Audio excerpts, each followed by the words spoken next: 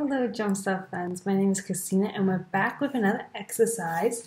So we just read a birthday basket for a Tia.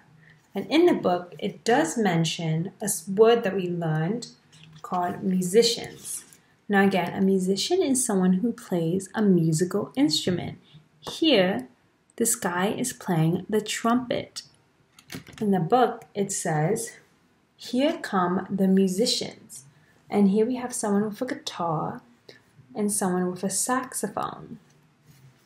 On the next page, there were also musicians at Tia's surprise birthday party.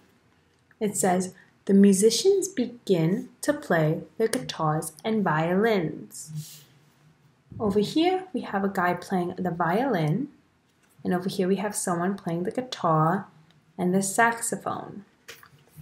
Now, a musician does not have to be someone who has a physical instrument. It can also be your voice as well. So today we're going to do a little exercise where you guys, we're going to have a concert and you guys get to be the musicians. So I'm going to teach you um, simple beats that you can make only using your body. You don't need a physical instrument. So the first beat I'm going to teach you is with your hands. So you're just going to put them together, and that is called a clap. So we're going to do this three times. Ready? One, two, three. Good. Now again. One, two, three. That's great. So the next beat I'm going to teach you is with your feet. So we're going to stomp them on the ground three times. Ready?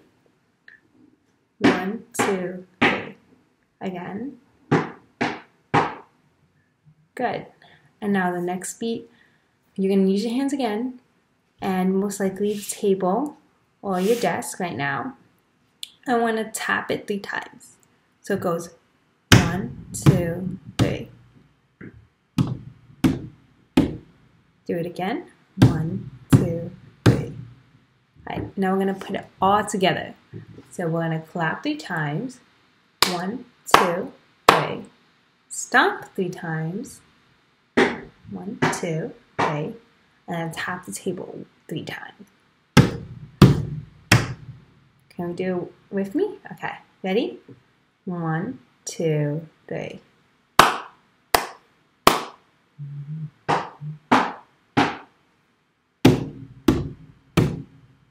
That was pretty good. Let's do it one more time, okay?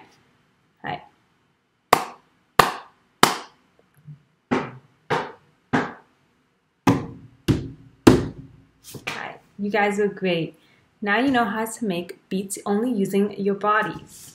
Alright, so again, a musician is someone who plays a musical instrument.